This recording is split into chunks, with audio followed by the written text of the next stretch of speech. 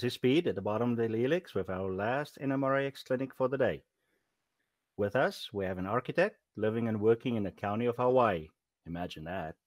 Raised in the Pacific Northwest, north of Seattle in the San Juan Islands, building model railroads since nine, when he spent all of his first paper route money on a Tyco train set. Since then, he has moved several times and built several layouts, primarily in HO scale. In 2000, he branched out into large scale using live steam and battery powered with radio control. At home, he has been working on an O scale narrow gauge layout using battery power for many of his locomotives. Today, he will be discussing his successes and failures for our pleasure and entertainment. We welcome Neil Erickson from Uma Uma. Uh, aloha, Speed, and everyone else. Thank you for having me. Um, Gordy, my coffee cup is empty, so you'll just have to bear with me. I uh, I think we ought to do some uh, business. I mean, the bathrooms right outside around the corner. Please turn off your cell phones. Um, I'm advertising uh, Modeler's Life and the Hawaiian Railway Society, so hope you will think about supporting both of those. So today, I don't know, Gordy, if you're going to switch me over to my presentation and I can get started with that. Yeah, it's it's done. Ah, we're already here. Well, you can see this is a large scale locomotive, uh, G scale actually, 1 to 20.3. And it um, it's battery and sound. It has a tsunami sound in it and some very, very large batteries.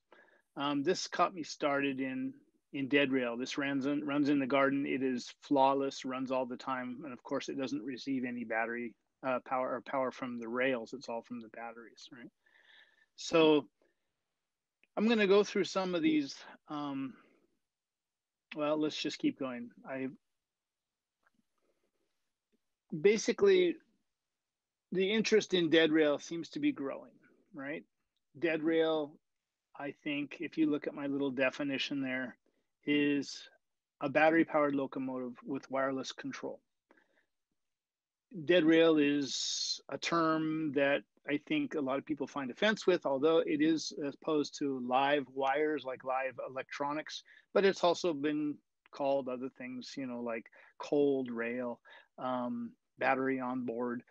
So there's a lot of different ways to, de to describe this. But if you look at the little diagram there, you can see basically the battery goes into a form of a receiver, and I will talk about that more. Um, and then from there, it can go, it can go, and I think this is an important distinction, it can go to a, a DCC decoder. And of course, it doesn't have to. And we'll talk about some of the products out there available. But uh, certainly, you don't have to have DCC, you don't have to have sound.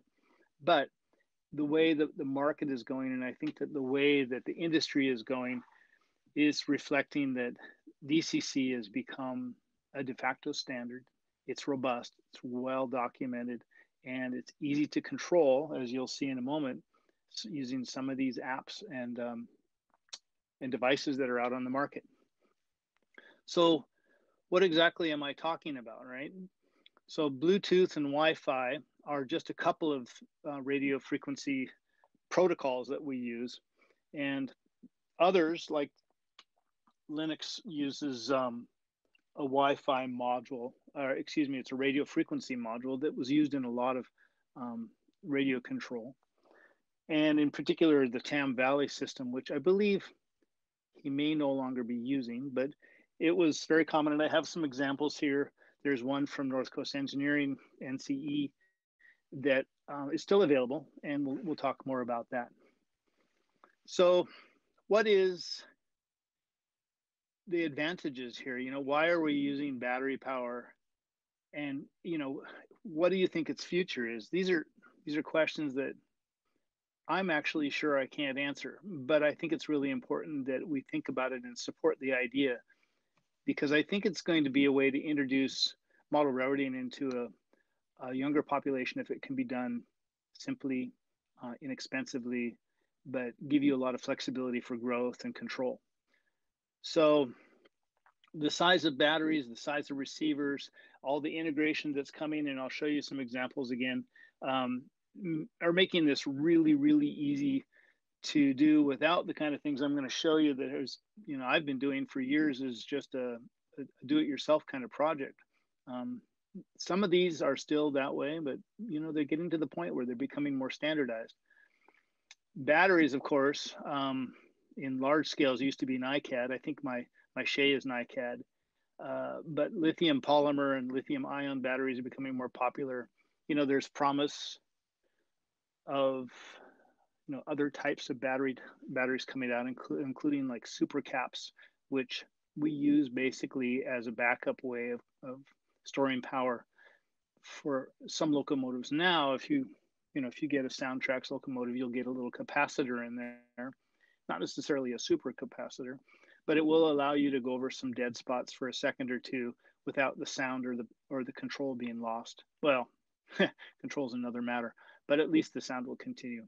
But the batteries are getting smaller, getting getting a lot more powerful, and I think uh, you know I can co- show you some in a moment that I'm using in my O scale locomotives, uh, O scale narrow gauge, um, that are completely um, compatible with HO and maybe N scale in trailing cars or dummy locomotives. So the question, again, whether rail power or radio control, um, you know, has anything to do with batteries. It has, you know, in my opinion, has everything to do with batteries. You know, the, the fact that we're talking about dead rail today means that you're interested in it. Although, you know, a lot of people wonder why don't I, you know, put a battery in my engine and charge it off the rails like you would with a, a capacitor. Well, batteries don't like to be charged and discharged um, you know frequently but there are charging pro, um, boards that can help manage that. There are um, protected batteries that will help from overcharging or discharging. And those kind of things are are important if you're thinking about choosing battery power. I mean some of the things that are advantages of course the elimination of wiring to switches and frogs, reverse loops, Ys, turntables. And of course, you can even, you know, make your track look weathered, dirty, rusty, what have you, and, and, and paint it. And there's really no need to have power coming from the rails.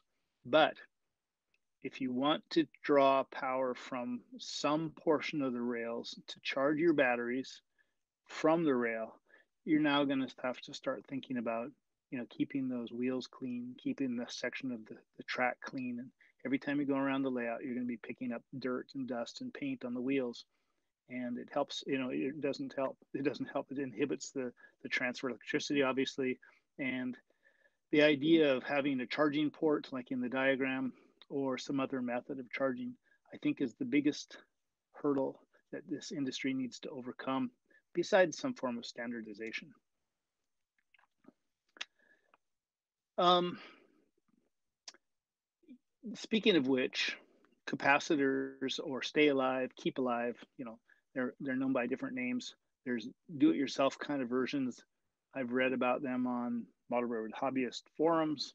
Uh, you know, they're an alternative, but I think the bottom line is all of these solutions might provide you a little power over dead frogs, even dead sections of track, but you're going to lose control of your train. Right. So I think that's why needing radio receivers in your engines will eliminate that loss of control. There are a lot of products available for us to consider, right? I'm excited about a lot of these. I don't have any hands on experience with most of them, but I felt like this is a good way to curate them all in one spot and run them past everybody else so you can make your own decisions. So there are no standards, right? Even you know battery voltage, number of batteries. Um, I'll show you some examples of batteries that I use, whether they're built up to from 3.7 volt uh, lithium polymer batteries or they're standalone. You know, they have different applications and but they need different kind of battery management. Um, the you know the, the, the products that you can buy off the shelf like i said are becoming more and more numerous.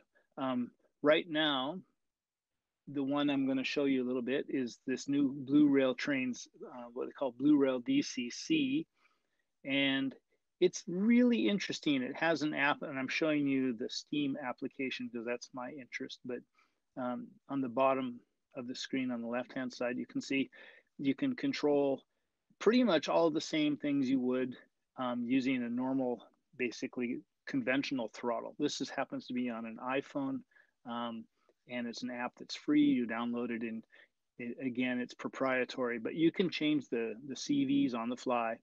Um, one thing that I've suggested is that if you're going to have a lot of momentum and coasting, that maybe there should be a way to uh, brake that locomotive too. So there's some advantages to the Blue Rail trains, like being able to control those CVs, being able to connect to a locomotive fairly inexpensively. It can run off of rail power or it can run off of battery power. Um, Rail Pro is becoming super um, popular, developed in Canada. Um, I believe it's developed in Canada, is uh, sort of an entire package like a DCC system. It promises really amazing things. They don't really tout it as a battery powered system, although I imagine it could be. It does draw power from the rails, but it is a wireless connection directly to the locomotive. And if you look in the in the diagram, the um, it's it's sort of a family suite of of products where they have um, not only the handheld controller and it has a color screen and you know a lot of flexibility about what you can do with that, but it has other components, um, battery chargers and power supplies, and more importantly, it has a very very small um, receiver, motor controller, and sound card, all built into a, a chip that just plugs into the standard NMRA connection. Um, a couple come out recently that are Wi-Fi based. In other words, you connect to the locomotive by choosing uh, the Wi-Fi that it's transmitting. Uh, Locofi uh, is probably the least expensive that I've found on the market. Comes with a speaker, produces diesel sounds. It's a it's a downloadable application, and it can run on batteries very easily. And you can see from the picture on the left-hand side, page six, that this is designed to fit right in and replace the board maybe on a standard um, HO diesel locomotive. It's pretty interesting that it, you know, you don't really need much more than what's shown right there. And I believe the total price to get involved in this is less than $100. And maybe that's more than you want to spend. But if that's all you had to spend and get involved in, in model railroading, it doesn't look too bad. You might notice that there's an SD card in there and they promise that you can download sounds directly to that. So there's some options there that are kind of fun. Um, the, uh, the company called WiFiTrax is another on the right-hand side, page seven. Um, it's kind of exciting because they've taken what I believe is kind of a standardized board that allows you to plug in different components. Um, sort of like a you know an interface board that replaces the one in your locomotive. These are designed for ho scale.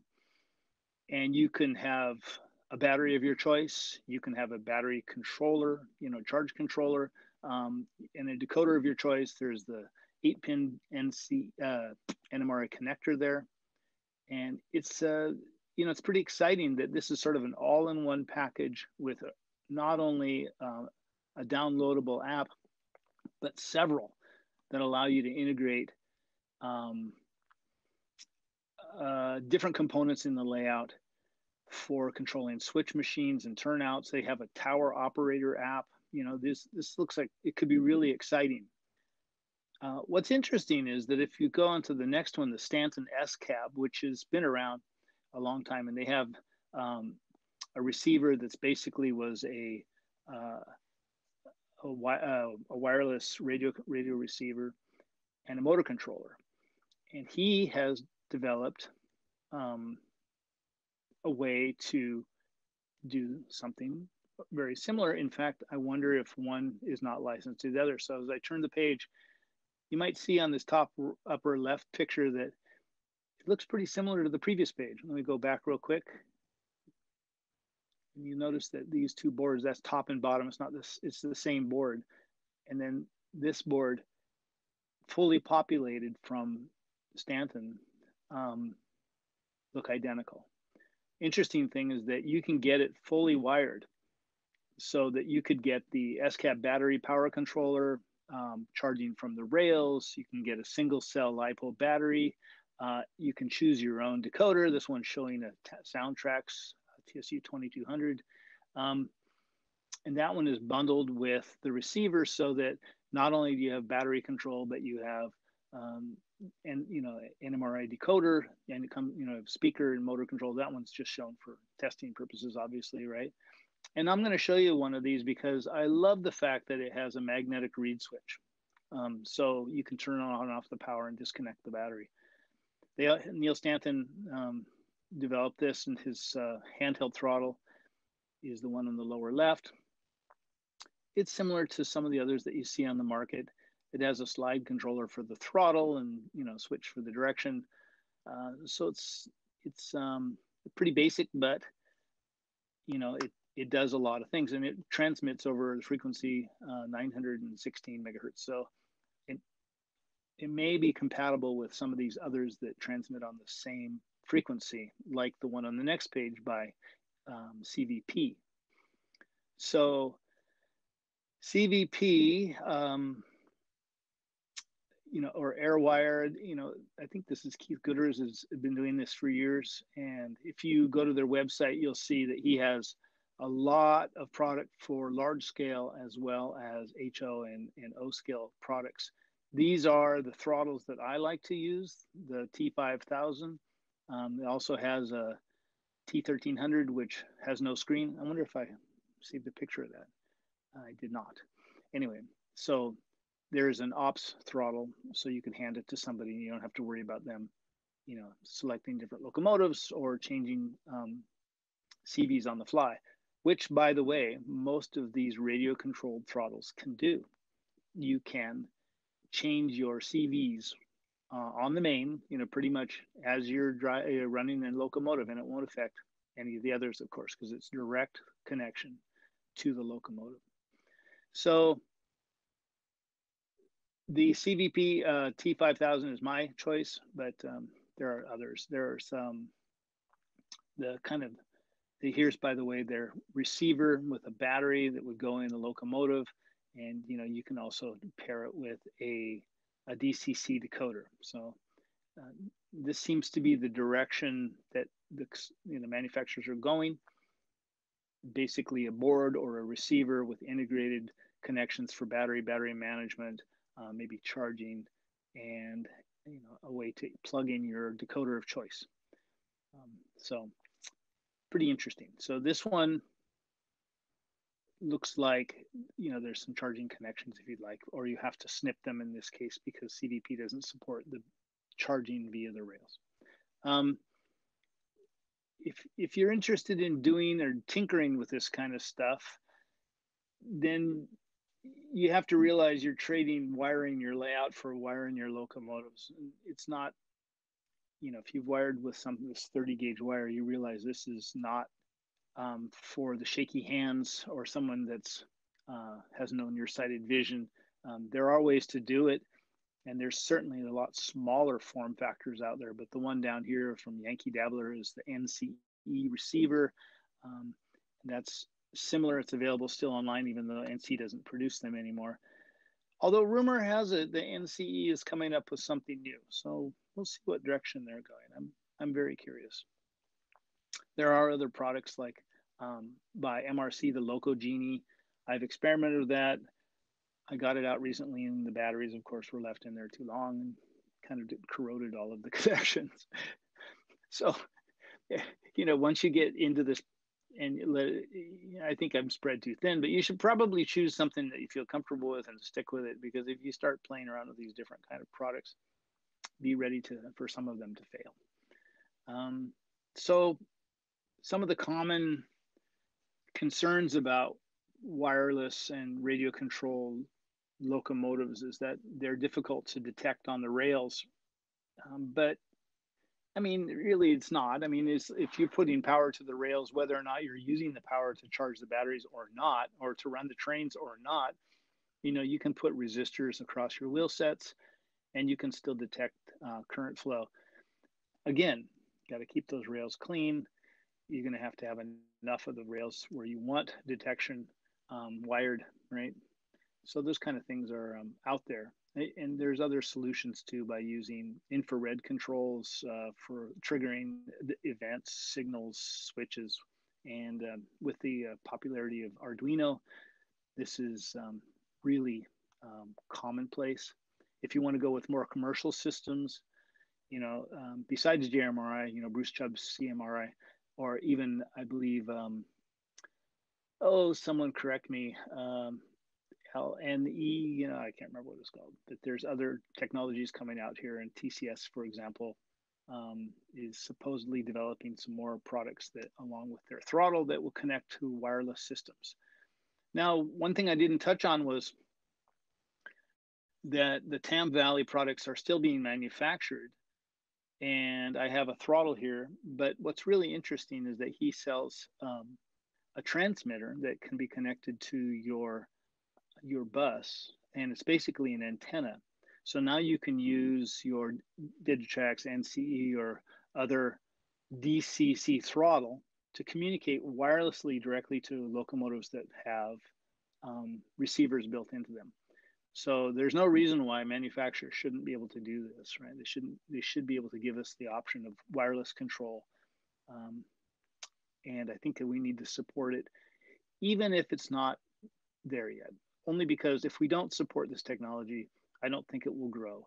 And this is a second hobby or a second business for a lot of young people that are interested in it.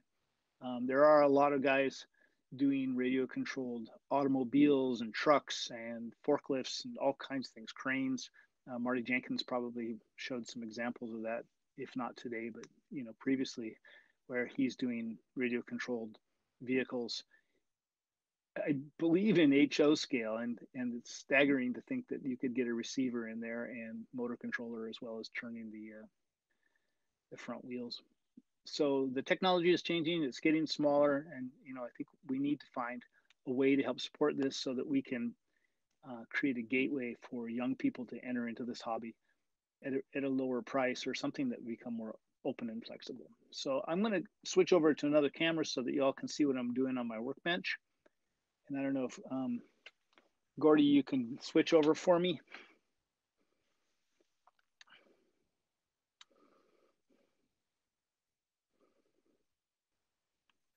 Yeah, I'm just uh, just sorting that out in the background. All right, I'm going to switch it over and kind of give you guys a better point of view of what's going on here.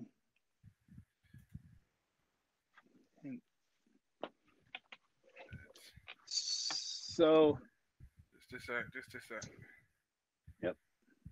I'm just hoping that we didn't just, hopefully we didn't just kill everything.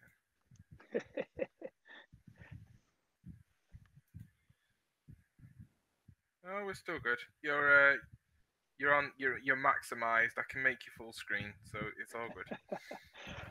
well, I should have started off by saying aloha, a Hawaiian welcome, and uh, in return, you're supposed to say aloha back. So Gordy and Speed Aloha. Aloha. Aloha.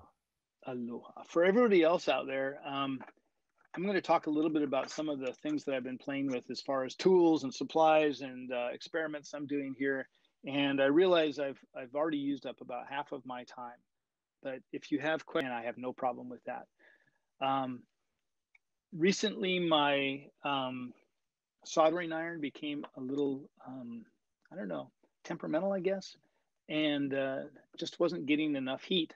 So I went and got this Ryobi battery powered. now, I never would have thought this existed, but a battery powered soldering iron. And it's, it uses these 18 volt batteries, you know, and of course, you got to keep it all in this. Good thing it's not hot. I burned myself more than once.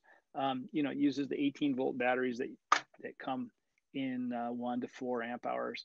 And I just happened to have this one handy and I was super impressed that when I turned it on, it went from flashing to warming to solid red in less than a minute or probably less than 30 seconds. And you can watch that for yourself. But having a good soldering iron for doing electronics, I think is super important. You know, you got to keep the tip clean, obviously. And I don't know if um, Kevin Marks is out there uh, or if he did a presentation this time, but uh, learning how to solder is is easy, but it's super important. that you get it right because it's not welding. It doesn't require a lot of heat. This, it's already hot. This provides a lot of heat. And honestly, I think it's probably too much for electronics, but it's uh, it would be awesome for um, you know doing switches. Uh, it's it's fast and it really recovers quickly. So I'm going to turn that off and put it away, and hopefully I don't um, burn myself up there. Yep. Anyway, you should have a little better view. The other thing I like is this Lazy Susan. Uh, you can tell it's been around a while. You do everything on here. You can build models, weather things, you can paint, and you can spin around and, and get different point of view for things. I was going to show you a, a, locomotive that I'm going to work on today, um, but let me start out by saying there's a gazillion different um, things that you can buy on eBay for pennies. Essentially, you know, um, a choice of connecting wires of all different colors, right? Get these in a pack. Um, I have detectors and Arduinos and IR um, devices, infrared, you know, devices. There's um, uh, the Bachmann motor controllers look like this. And I don't know why I keep them, but um, I know I have several because I look at them for reference for the wiring. And I think it, you know, without having the sheet of paper in front of me, just having something physical, it helps me a lot. I'm sure others are like that. We were talking about, at least I was talking about, since I can't hear you, I was talking about these um, little teeny uh, lithium polymer batteries. Here's one that is, how do I describe this? Um, I should have got a tape measure. Uh, this one's three centimeters long, one centimeter wide, and about a third of a centimeter thick. This thing is amazing. It's only a 170 amp hours, but if we're talking about using batteries to, you know, that will be charged on the rails or, you know, for motor control only, there are ways to use just one of these, or you can gang them up like this. So three of these 3.7 volt batteries will make 11.1 volts, which is more than adequate for a lot of the things we do. And you can buy them pre-wired like this as well. So, I mean, there's these things are literally pennies. Um, some things that have been fascinating me lately are, um, you know, little um, on-off switches, uh, reed switches, uh, you know, magnetic switches to turn the batteries on and off. And then recently, and of course I couldn't find it today, were all of the little USB, micro USB connectors that you can get and conceal pretty easily underneath a locomotive if you wanted just to plug in a charge cord or if you wanted to charge through some port or something where you would drop in maybe a water tank spigot and have it connect, which is pretty pretty cool. Oh, by the way, this um, this is what is commonly known as a buck converter. Uh, it's essentially a little teeny transformer that will bring in, in my case, um, a 3.7 volt battery and or or 7.2 you can you know you can bring these in or what's that? Two times 3.7 to 7.4 volts and or a um, regular 11.1 volt battery just connected here. And the output is always about 12 13 volts 12 you know you can it's adjustable but you could get that set dialed in right as whatever you need um, i didn't talk about one of my favorite tools but i think everybody needs a good voltometer this one is self ranging um, I don't know how well that shows up, but it, this is voltage. And then of course, ohms, uh, amperage, and then um, continuity. And if I touch the ends of this, this is super helpful for looking for shorts on switches and other locations. You to get a, a sound. So these were available from Radio Shack. If anybody remembers Radio Shack, I'm sure they're still out there. Um, let's see, where shall I go next? Oh, here's the uh, the way the buck converter looks when it comes packaged. These are literally less than two dollars, um, and they're pretty amazing. They work great. There are other choices too. Um, let me put these away since they're just cluttering up the place.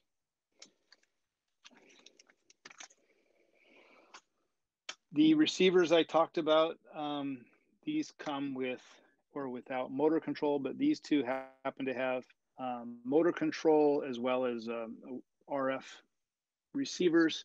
This one has a nine pin connector, so you can just come right out. I have it right now set up to a eight pin plug. So, um, you know, I'm not using the green or the brown. Uh, this one comes standard with the JST connector. And I have uh, this one, well, I'll show you more about how I do these, but these are little plugs that I make up. Um, recently, there was a Zoom conference on DeadRail. If you're interested in learning more about DeadRail, you know, get on Facebook and join the um, DeadRail page, and they'll they do Zoom meetings frequently, and there's a lot of questions and answers. Um, and one of the things that I think Pete came up with Steinmetz um, was that instead of having two plugs, he, he had three. So one would be dead. So there's only one way to plug them in without, you know, making sure you get your polarity correct. Fascinating. I mean, very, that's genius, actually, Pete. Good job. Um, of course, I have also out here another Bachmann uh, decoder and I keep this around because it has a really nice clear wiring. So your pinouts, um, you know, I don't have to remember that the red one is always um, number one, right? Because when you look at a plug for a decoder uh, input in the locomotive or, or in my rail car, you usually say one or eight somewhere on the board. Um, for example, this little rail car has your standard eight pin plug. I don't know if that's even visible. Let's see if I can get some more light on it. Yeah, at any rate, I'm sorry. It has an eight plug NMRA connection. And then I've used the RF module, right, that provides radio frequency and control with the eight pin connector. And all I did was plug it in and you know I can run it using wireless control. The um, you know the interesting thing here is I could cut the red wire and the black wire, and which I do frequently, and use um, micro JST connectors to go to a battery. Um, and so you can just integrate a battery between the motor and the modules so that uh, instead of bringing powers from the rails, you can bring power from a battery.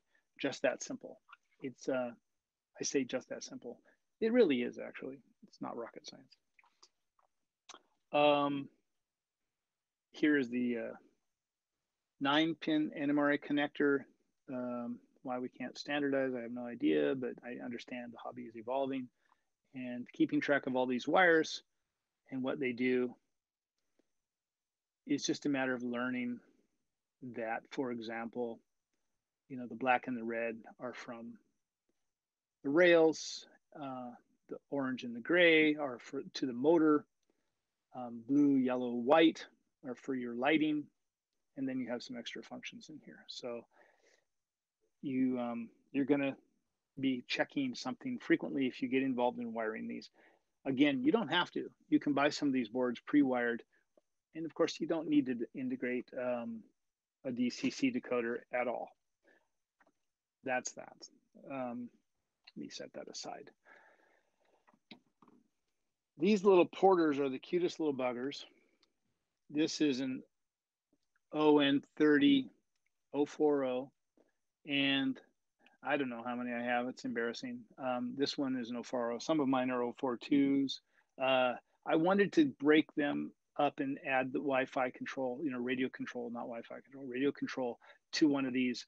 And they're really not designed to be converted, but with a little head scratching, you know, I managed to um, put the receiver in the in the roof of the cab here, and it has a um,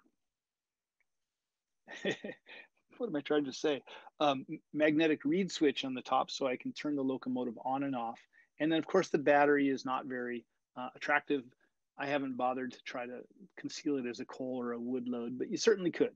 You certainly could. Um, this one is uh, taken a few nosedives to the floor, but I use it a lot just to play around with and try my rails out because it, it finds all the failures.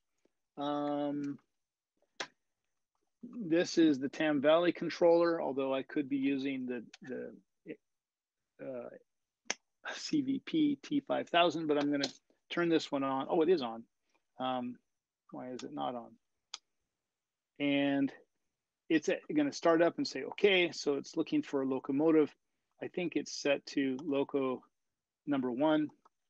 And if I start this locomotive, it's supposed to go. Um, I have a Sergent Engineering magnetic pick.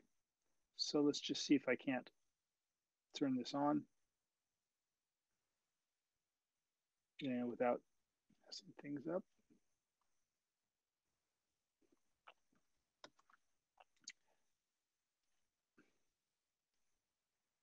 Hmm. Always when visitors come, right? Well, of course, I tested it a moment ago, and we'll just pretend that it's uh, working. Hmm. I'll be darned. Maybe I put a dead battery in there. I'm sorry. Anyway, it is fun to run this around the layout when you play, when you play with me.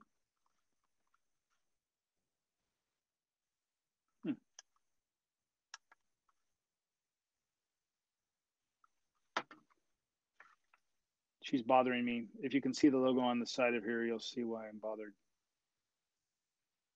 Um, moving on. I'll come back to you. You'll probably take off like a shot.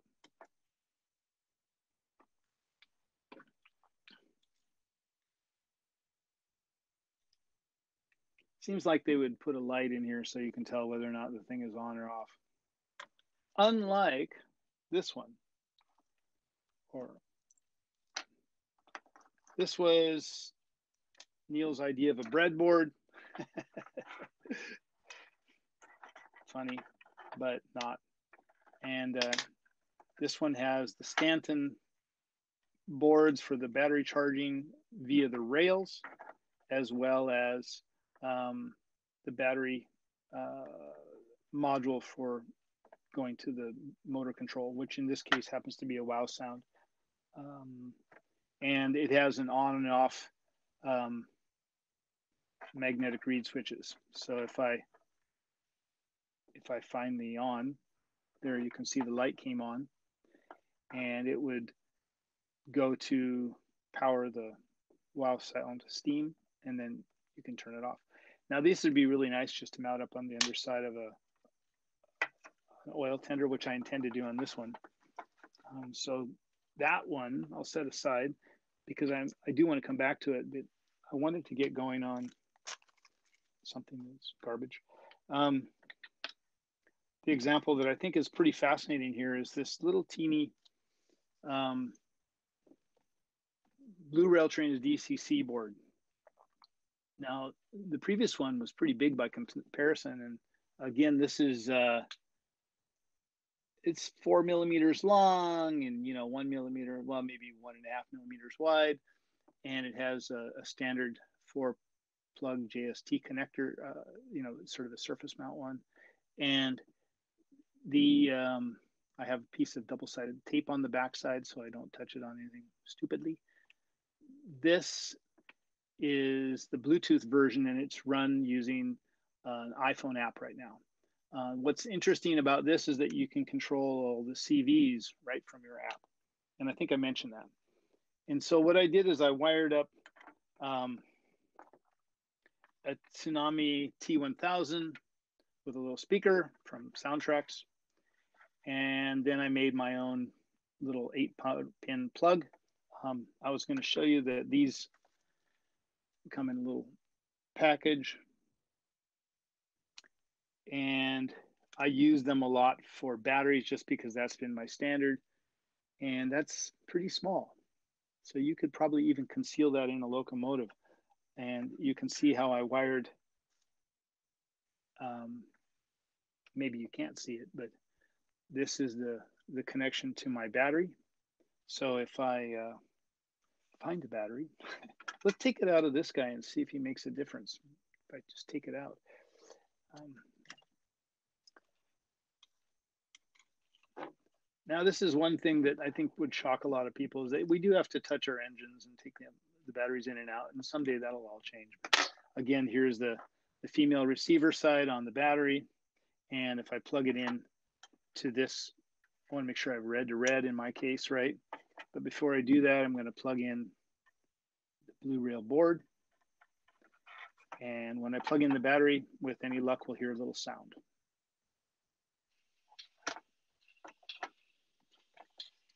So the engine is idling. And if I can find my old iPhone, we'll launch the application. So if I just run it without an engine, it should, well, I don't know what's going on here. Let me go back and connect to my 280. I, have named it, I've set up some CVs, and uh, this one you can run multiple chains at once, but you can that's a pretty amazing little speaker. So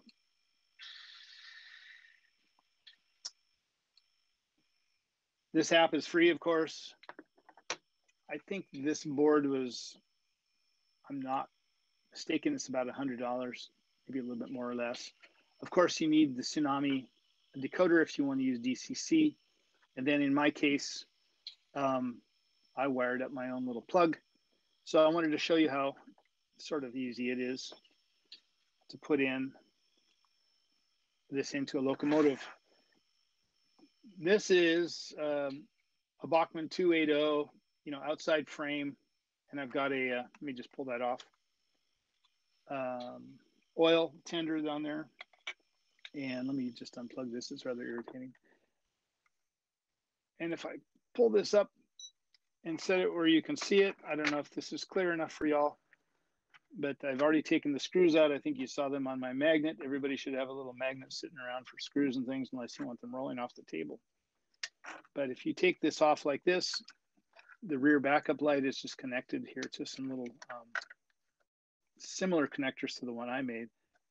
And you can see I've already taken out the, um, the Bachmann decoder, little eight pin connector and uh, it was just a matter of slipping this guy right out of there. This had no sound, obviously, right? So there's no speaker. So this locomotive would now be connected to my new eight pin connector. Now I always have to remember which one's which. If you remember now, I'm no longer using power from the rails, right? So the red and black um, no longer are relevant in this case. The other one I, I was using power from the rails to charge the batteries, but this one I don't. Now, since red and black aren't on there, you have to remember that uh, number eight was uh, up there in the corner. Hopefully I got this right. Otherwise my locomotive will go backwards. So I'm gonna start up my engine again with uh, first plug in my battery. I brought some little micro switches to show you that you can change for charging if you have a charging port. Um, but I frankly just like pulling the battery out and replacing it. You probably figured that out. So again, with the app, I, I connect with it. I choose one locomotive, just generally check and make sure things are working.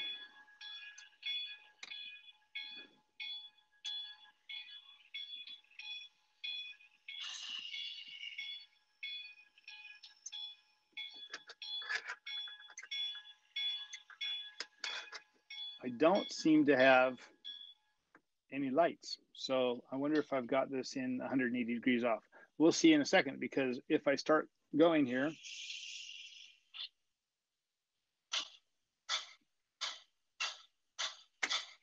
it's definitely going in reverse. So that's probably what happened. So this is all a work in progress. I love playing with this stuff. I'd rather be building models, frankly, but this stuff takes me down a rabbit hole, and it um, it's a wonderful journey.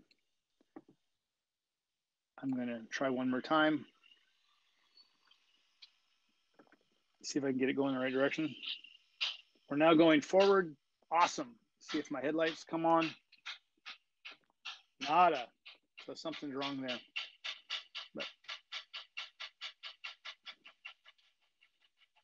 I wired this up this morning just to give it a try. And you notice that my throttle's all the way down and my momentum's kind of high. So it's going to keep coasting until I stop it. It would be nice if we had some braking functions. Anyway, I think my 45 minutes are nearly up and I didn't want to run out of time for questions. So speed? The, the, the sooner the better. I'm sorry I took a little bit longer than I planned.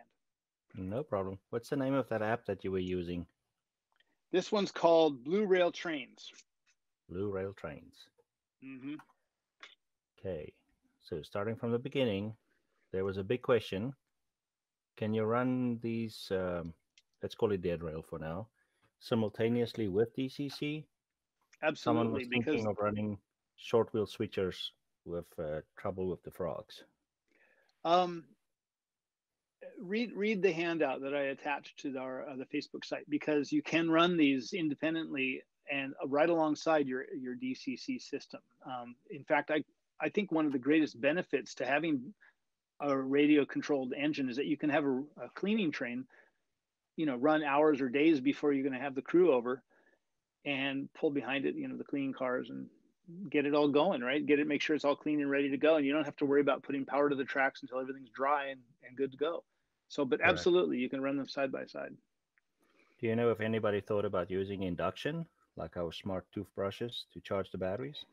You know, it's funny you'd mention that because I have one that I brought with me um, that I was going to show you, and uh, you know, the minute you ask me, I can't find it. This one um, is big, right? Granted, right? I don't know if you can see, but it's quite large. There are others out there, but this one from Pololu uh, was a way for me to kind of try out inductive charging. I didn't know what to do with five volts until I found the Stanton board. So now I might try this. If you notice, it, it does fit inside my ON30 tender. Cool. The question is, where do I park it? Yep. Right. So I don't know yet. Uh, but the idea of pulling up next to uh, an engine house to recharge is pretty cool. It's a cool idea. Okay, what kind of battery voltages are we talking about? Are they all the same or? No, no, no. In fact, I put most of those away here, but uh, most of the the lipo batteries that are available that I buy that are um, protected, what we call, you know, power protected, are 3.7 volts, and these um, come in all different sizes, right? I Mhm. think you saw the the one I had earlier. You know, is uh, is kind of a big flat one, and it looks like this, right? But you don't need to to gang them together like I've done now, because now these these battery controllers and buck converters will let you you know jump up. This one is three quite small ones. I think these are uh, 300 milliamp hour batteries all stacked together, three of them in a row, and I wired them all in series so that you get 11.1 volts. Um, but again, you know, it depends on what your goal is here. If you're going to be charging from the rails, I think that you don't need a whole lot of battery power, maybe just enough to get through um, turning on the turntable or getting through a Y. So you don't have to worry about, you know, managing all of that kind of um, electronics. And certainly Right. those boards are not inexpensive. Your opinion on the battery safety circuits that's built in on these batteries? I am still not completely sold. Um, some of mine are rather old, and I think I showed you during my last clinic that they can grow, and that's not a good sign. And these are are uh, a good example. They're not supposed to be that thick, and I left them charging for days, uh, stupidly. And uh, I was lucky I didn't catch something on fire, honestly, because I, I imagine that could happen if they burst. Yeah, don't make don't make the Samsung and Apple mistake of not leaving room for them. Yeah. where do you uh, where do you buy your uh, lipo, ba- lipo batteries? I have some uh, dealers on eBay that I trust. And all of this, all of this stuff comes from China. So you want to make sure that you're getting something that you feel comfortable is going to work well and last, and and more importantly, that it has what they call the PCB protection. Right. Mm-hmm. So it has chips on there that will allow you to not overcharge and not um, deplete it all the way to zero because that will, you know, cause it to fail a premature life. Right. How about the ma- magnetic latching reed switches? buy them at the same eBay places? Well, nowadays they're becoming integrated into these these circuits, like the Stanton drive and the NCE boards. Um, I think more and more you're going to see those as far as turning on and off the batteries. And uh, yes, you could get them the the boards from Pololu or um, um, SparkFun or one of these others, you know, for battery management boards. What what currents do these batteries have to provide? I mean, can the connectors and the wires, that seems it's been shrinking. Yeah, I mean, there's not a lot of current involved, right? I mean, you're talking about five. This one, the, my big flat one, is 500 milliamp hours, right, at 3.7 volts. So, uh, if it's putting out uh, 3.7 volts and being converted up to 12 volts, this may last an hour okay. uh, without charging. But the one I have connected here will charge on the rails and I'm not completely sold on battery only, so I'm anxious to to compare once I get my uh, JMRI working and some signaling going, see if there's other options. Would it be uh, advantageous to use super caps instead of batteries?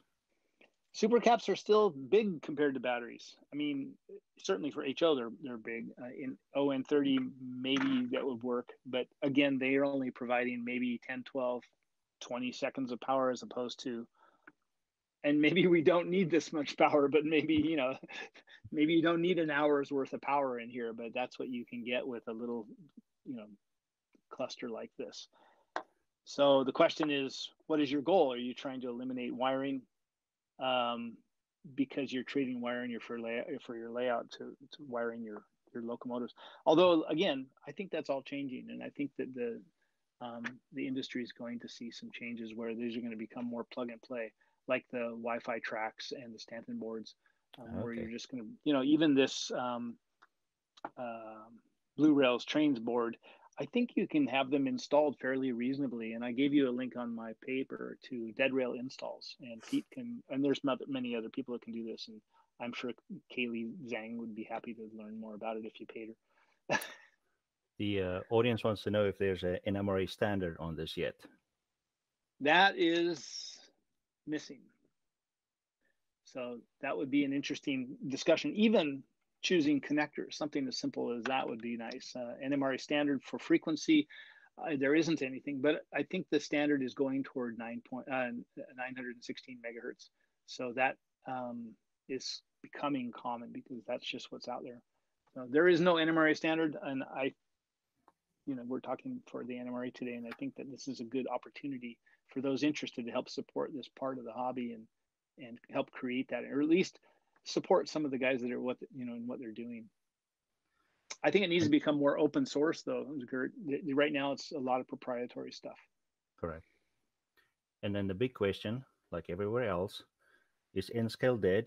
Oh, sorry. Is there a chance for N-Scale to go dead? Man, I got this wrong. Is there a Wait chance a for N-Scale to get red, dead rail support?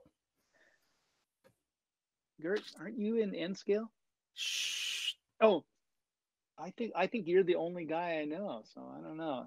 Um, right now, there's a couple of apps, and I listed them and I described them on the page. But if you go to um, some of these uh, manufacturers' websites, you'll see that you do not need to put a lot in your locomotives in N-Scale. You know, you can have these connected to your your bus and to your rails in a way that will give you the same kind of connectivity and support that that we have in larger scales. Okay. And I think it's just a matter of time. But Uh, N scale, they're so small I can't even get this on my tracks. I don't know how do you do that.